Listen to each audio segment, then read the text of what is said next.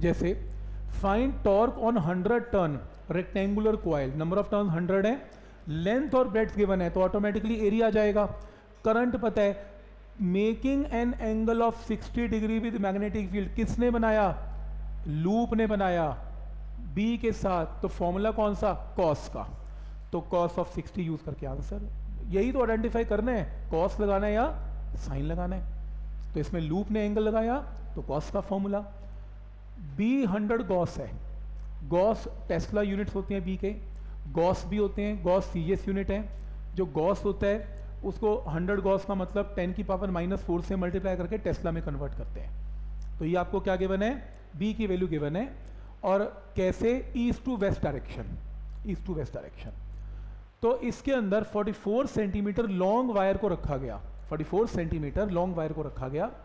What is shape and orientation of loop made of this wire which yields maximum turning effect तो कह रहे हैं कि मैं उस लेंथ को मैग्नेटिक फ़ील्ड में रखता हूँ। अब आपको उसकी शेप बतानी है। क्या मैं उस लेंथ को रेक्टेंगुलर फॉर्म दूँ स्क्वायर दूँ सर्कल दूँ, ताकि टॉर्क मैक्सिमम हो? तो टॉर्क मैक्सिमम तब होगा जब एरिया क्या होगा?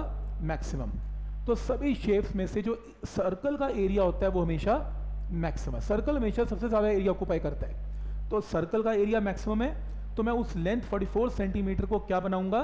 सर्कल तो 2 pi r is equal to forty तो रेडियस आ जाएगा। रेडियस आ गया तो सर्कल का एरिया आ जाएगा। फिर आपको टॉर्क मैक्सिमम चाहिए।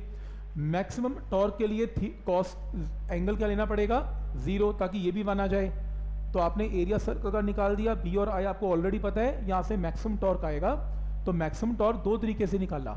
एक तो शेप सर्कुलर करके और दूसरा कॉस ज़ीरो को वन करके। तो क्लियर है यहाँ तक? तो इस तरीके से आप मैक्सिमम टॉर्क की वैल्यू निकालेंगे ठीक? जैसे, और हाँ हाँ इसके अंदर circular coil of 25 turns 25 turns हैं इसमें। रेडियस 6 सेंटीमीटर है। Carrying current of 10 ampere current है इसमें। सस्पेंडेड वर्टिकली वर्टिकली कैसे? सच दैट ये loop is lying in the direction of magnetic field तो थीटा इसमें क्या रहेगा? ज़ीरो। टॉर्क क्या आएगा? मैक्सिमम। बी आपको पता है, फाइंड फोर्स एंड टॉर्क। चलो पहले टॉर्क निकालते हैं। टॉर्क के फॉर्मूले में कॉस क्या? ज़ीरो। आपको नंबर ऑफ़ टर्न्स पता है बी पता है, करंट पता है, एरिया आप निकाल लेंगे, मैक्सिमम टॉर्क आ गया, डन। एक आंसर। फिर आपको इसमें निकालना है कि इसके अंदर नेट फोर्स क्या होगी। एक चीज़ याद रखना, हमने जो रेक्टेंगुलर लूप लिया था रेक्टेंगुलर लूप में थ्योरी में क्या किया था? ऊपर और नीचे की फोर्सेज आपस में कैंसिल हो जाती हैं। नेट फोर्स ज़ीरो अंदर और बाहर की फोर्स की नेट फोर्स भी कैंसिल हो जाती हैं। तो नेट फोर्स जब हम टॉर्क का एक्सप्रेशन करते हैं तो नेट फोर्स ज़ीरो जाती है। नेट फोर्स इज़ ज़ीरो पर net torque is not zero तो इस केस में नेट फोर्स इसमें क्या रहेगी? ज़ीरो ही रहेगी, पर नेट टॉर्क ज़ीरो नहीं रहेगा। तो इसके अंदर ये आपको बताना है। फिर आपको टॉर्क की डायरेक्शन बतानी है। ये इंपॉर्टेंट है। हमने टॉर्क का ये एक फॉर्मूला किया एम क्रॉस बी याद करो। ये फॉर्मूला टॉर्क की डायरेक्शन निकालने के काम आता है। कैसे? एम वेक्टर की डायरेक्शन क्या होती है? अगले चैप्टर में पढ़ी जाएगी, अभी एक लाइन में बता रहा हूँ।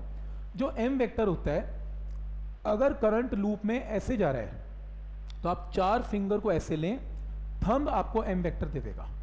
तो बी वेक्टर की तरह ही एम वेक्टर है। तो आप करंट को ऐसे घुमाएँ तो ये आपका एम वेक्टर है। और ये आपका बी वेक्टर है। तो एम वेक्टर और बी वेक्टर तो M vector cross B vector में एंगल क्या है? 90 आपके सामने ही है परपेंडिकुलर तो जो टॉर्क वेक्टर है, उसकी डायरेक्शन क्या होगी? उसकी डायरेक्शन कैलकुलेट करने के लिए ये देखो। एम वेक्टर कैसे है? बोर्ड के बाहर। बोर्ड के बाहर। बी वेक्टर कैसे है? ऐसे है। तो एम वेक्टर बोर्ड के बाहर बी वेक्टर ऐसे। M cross B M cross B M cross B thumb का है? ऊपर। तो टॉर्क आएगा? तो इमेजिन कर रहे हो, हम ये अगले लेक्चर में करेंगे कि एम वेक्टर की डायरेक्शन कैसे, बहुत सारे क्वेश्चन मेरे पास ऐसे ही जो एक ही क्वेश्चन है, पर आने वाले टाइम में जो हम अगला चैप्टर का नाम ही यही है मैग्नेटिक डायपोल मोमेंट उसमें यही कराया जाता है कि टॉर्क की डायरेक्शन बतानी होती है इस तरीके से. यहाँ तक क्लियर है सबको?